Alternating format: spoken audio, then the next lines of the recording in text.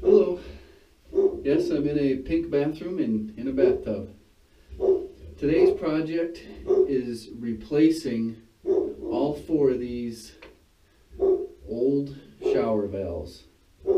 Um, a lot of times you can just replace a gasket, but I think the homeowner wants the entire stem completely replaced. Um, so we're going to take this all apart, try not to break anything while we're taking it apart. And then there is a specialty store where I can take this whole stem assembly and show it to them and they should be able to match it up with replacement or replacement parts. Should also tell you you have to shut the water off before you attempt pulling these stems out of the wall. I've already kind of run into my first issue. As you can see right in here, it's quite corroded. This knob just seats into some splines that are on this shaft here, but it's so corroded it's it's not going to pull off. So I'm going to attempt to disassemble this with this still attached. Um, and then possibly try to pull this off when it's like on a workbench. Not banging against it because this is just a brass fitting in here and things can get stripped out.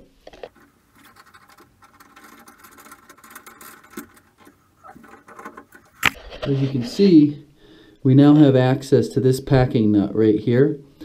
And I think I can get my pliers on it in front of this escutcheon here. And then once this is turned out, this whole stem and assembly just backs right out of the uh, this brass uh, fitting there.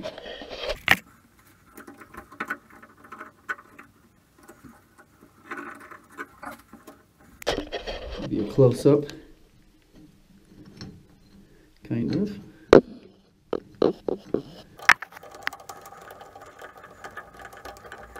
Now, if I'm right, this should just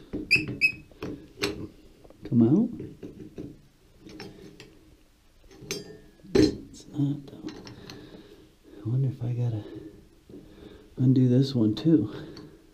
Maybe I do. I might have to do undo that one too. Just got my pliers on there. so far, I've gotten pretty lucky. Everything seems to be coming apart uh, quite easy.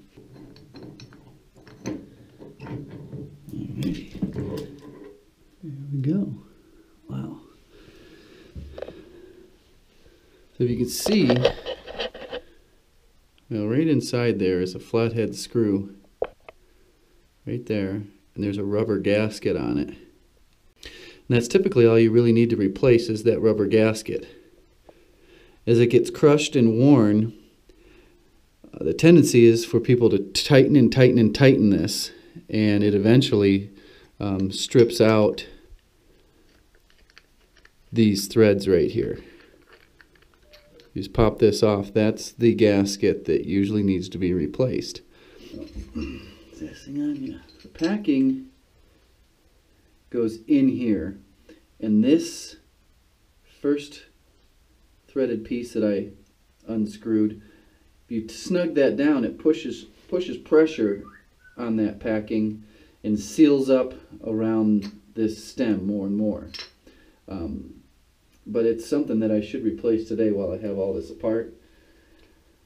I think we're going to first see what it would cost to replace the whole thing. That's what the, the homeowner specified is replacing this entire deal here. It's probably going to be a little bit on the expensive side. But I'll get a price and uh, get in touch with them and see what they want to do.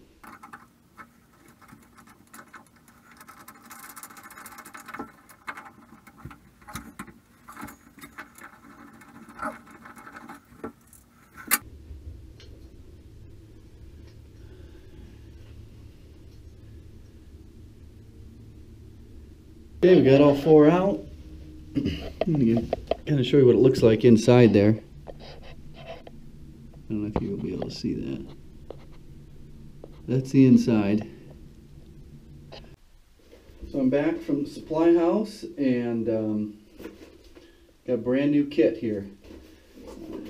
I have a feeling that the replacement isn't going to solve the customer's main problem.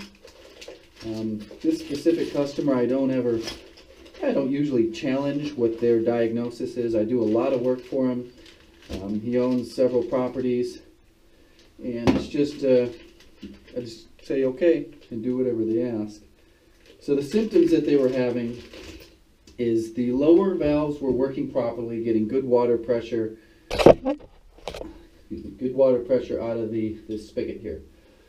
Um, this upper one, when they would turn it on, they'd get water coming out. Um, you know, this goes in here. They had water coming out around the escutcheon and draining down the tile here, but they were still able to shut the water off. Um, to me, that sounds like there's a clog up there at the shower head. And I can almost guarantee it. One, um, this house has galvanized plumbing uh, supply lines, and they rust and they will flake off and build up. You can see the, the rust stains in here. If I just stick my finger in here, you know, you can see there's orange all over it.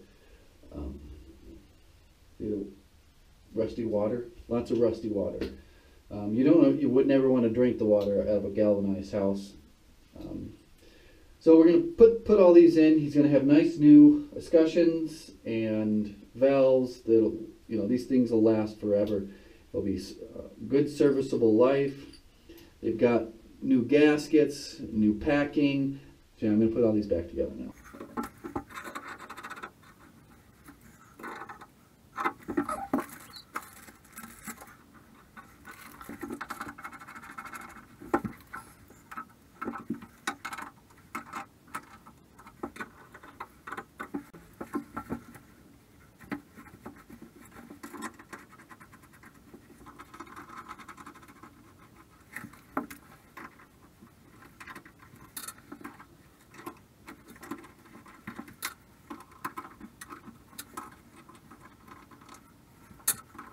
So I'm not going to put the rest of it together until I have the water turned on and I can make sure that there are no leaks and that the packing uh, nuts adjusted properly. I'll look for any drips coming out around the stem and then I'll uh, put this all back together. So the water's all on and what I'm going to do is just crack these open to bleed the water up into the valve just to, to make sure that there's no leaks.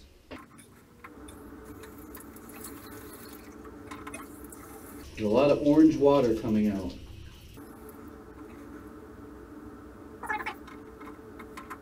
Sometimes these, these older ones will drip for a few, few seconds until all the water is drained out of them.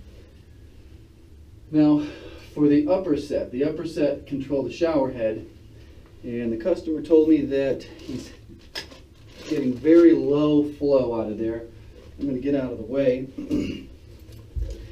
And um, my guess is it's still going to be clogged, but you know, could be wrong.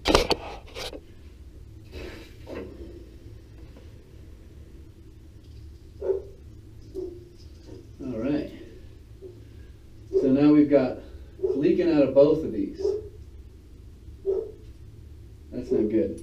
So let's see.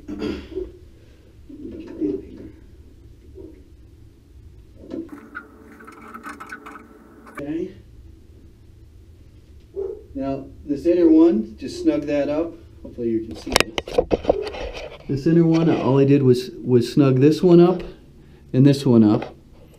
And you can still see we've got a drip. This one, is it's all related to the packing nut. So we're to snug this packing nut up just a little bit. And we're to snug this one up a little bit. Packing nuts aren't designed to hold back complete water pressure. These packing nuts prevent this stem from leaking when water is flowing out of the shower head. So since water can't flow out this shower head, a lot full water pressure is built up in this downpipe and to these valves and this these packing just can't hold that much pressure. It's not designed to hold it. the get the the valves in the back when you when you screw this down and you tighten it up, that's designed to hold full water pressure. So what's happening is when I open these up, full pressure goes up to there and water pressure and then stops. And these packing nuts are then trying to hold back full water pressure.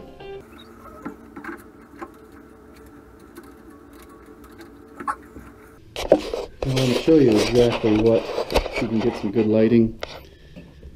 You can see that is all packed full of rust, bits of rust.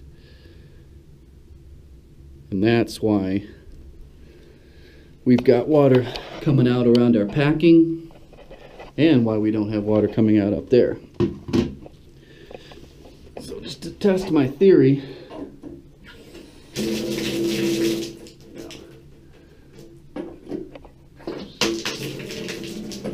yeah, there's that, nothing wrong with these. So that's all the rust bits that I pulled off the screen, the screen filter.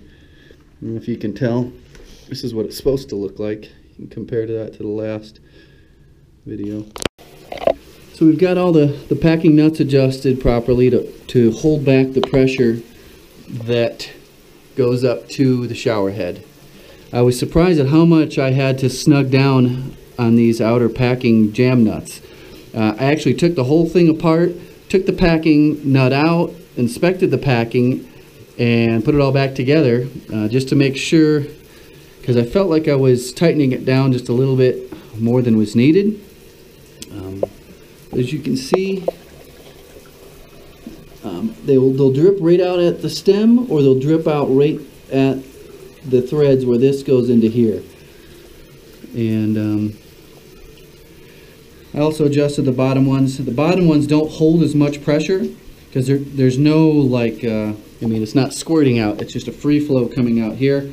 So you have you don't have to tighten these these uh, packing nuts as much as you do the shower head. So just about every project that I do, there's always a hitch. You get to the very end or somewhere along the line, a simple project turns into be a little bit of a pain in the butt.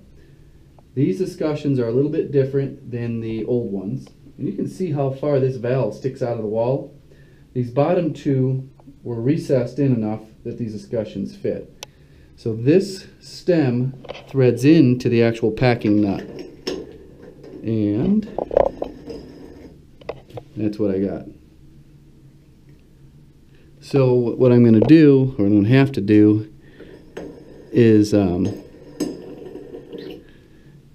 trim these down and get them all filed so that they still thread into the, these these brass nuts here.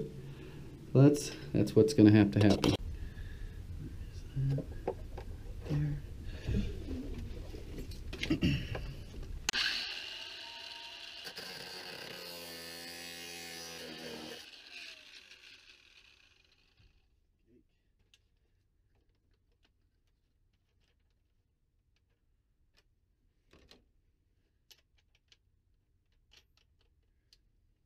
As you can see, I got the little stubby piece of brass threaded into there. And perfect. Let's do one more. Hmm. This one's, maybe I should cut more off of this one. Still going. There we go, perfect, nice and snug. The, the last thing to do on this little project here is to caulk these in. You can see there's a pretty decent gap just by the shape of the, the tile and the orientation of the valve uh, system in there is just a little bit off. It's not you know perfectly aligned with the tile. One thing I'm not going to do is caulk the underneath side. I'm going to leave, this one will be a good one, I'm going to leave that, that grout joint right there open. Same with this one, this one, and this one if these packing nuts ever do start to loosen up in a couple years down the road, you want a way for that water to drip out instead of going behind the wall. Um, and if you start seeing that little drip, you know that all you got to do is back this out, snug down on that packing nut, and you're good to go. This project is done. Got everything caulked in. Looks nice and neat. Um, I've been posting more handyman projects and not as many remodeling projects. I just wanted to get some feedback from my subscribers. Uh, do you like seeing these smaller jobs or would you rather just see remodels only? If you like this video, give it a thumbs up and subscribe to my YouTube channel.